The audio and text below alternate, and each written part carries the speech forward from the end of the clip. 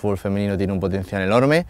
Yo creo que todo el mundo ya se ha dado, se ha dado cuenta, cada vez está en más casas por, por la televisión, por los partidos televisados y después del Mundial pues muchísimo más. Yo creo que ha pasado de, de ser aceptado a empezar a estar siendo querido ahora mismo, la selección femenina absoluta, pues la mitad ya han pasado por mis manos como entrenador, la otra mitad por edad no, no han pasado y, y no me impone, más me pone.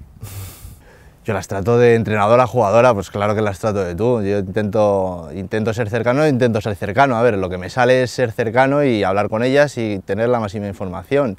Eh, es un deber mío como, como seleccionador conocer a cada una porque a cada una no las puedes tratar igual, a cada una le tienes que dar lo que necesitan.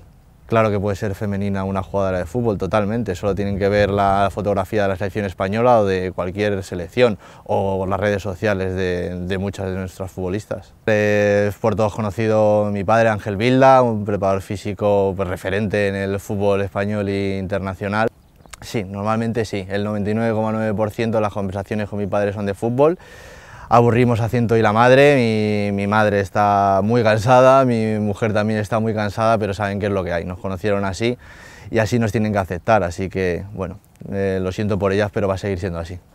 Eh, siempre me han dicho que o he vivido con, con el enchufismo en, en, mi espalda, ¿no? Como mi padre estaba entrenando en el Barça, yo entrené o entré a jugar por, por enchufe, pero algo... Y así ha sido toda mi vida, ¿eh? hasta ahora que hace dos años se ha retirado y está jubilado y pues eh, ya no me ligan tanto a él, pero siempre lo he llevado y ha sido algo que, me ha motivado muchísimo, ¿no? porque es como que siempre he tenido que demostrar algo más. Me acuerdo cuando, cuando jugaba el, el clásico, el Barça contra el Madrid, que la gente tiraba muchas monedas y entonces todos los recogió pelotas en cuanto acababa y pitaba el árbitro, nos tirábamos al campo y hacíamos más del doble de que nos pagaban ahí, o sea que estábamos deseando de que, que, hubiera derbis o que hubiera partidos clásicos para, para ir allí. Anécdotas, pues anécdotas, ha sido una graciosa, no con Gris, sino con Stoikov, me acuerdo que una vez me vino a buscar a un entrenamiento con su flamante Ferrari nuevo y, llevaba Julio Iglesias a todo meter en, ese coche y la verdad es que me, produjo mucha risa porque eran canciones que yo también conocía y pues estuvimos cantando esas canciones juntos de Julio Iglesias tan famosas.